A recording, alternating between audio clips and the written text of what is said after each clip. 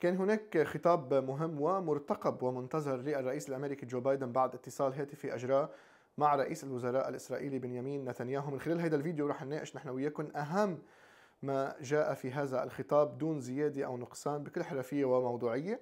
اولا ذكر إنه الولايات المتحدة الأمريكية تقف إلى جانب إسرائيل وتدعمها وستلبي كل الاحتياجات اللازمة للدفاع عن مواطنيها. أيضا قال إنه لإسرائيل كامل الحق في الرد على الهجمات. أيضا ذكر بأنه هو قال لنتنياهو أن رد إسرائيل يجب أن يكون حاسما. آه، أيضا أضاف بأنه الولايات المتحدة الأمريكية ستظل متحدة في دعمها لإسرائيل وللإسرائيليين الذين فقدوا أحبابهم.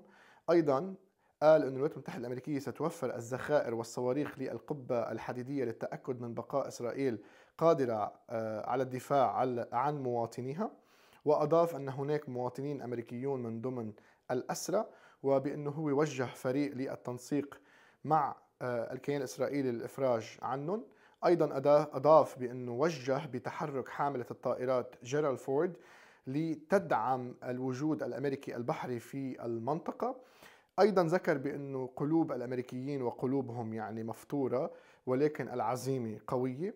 وأضاف بأنه أمر باتخاذ خطوات في جميع المدن الأمريكية ومدن الولايات المتحدة الأمريكية لتعزيز حماية اليهود في الولايات المتحدة الأمريكية وأنهى بأنه الولايات المتحدة الأمريكية ستظل دائما سندا لإسرائيل.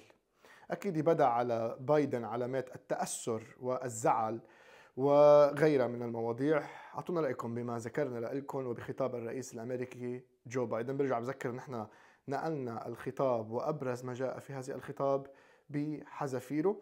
أكيد الخطاب موجود بشكل كامل على قناة شو الأخبار على فيسبوك ويوتيوب والموقع الرسمي الخاص بالقناة بإمكانكم الرجوع له ما تنسوا تعملوا share لهذا الفيديو وأيضا تابعونا على وسائل التواصل الاجتماعي like و follow على فيسبوك إنستغرام وتيك توك و subscribe على يوتيوب.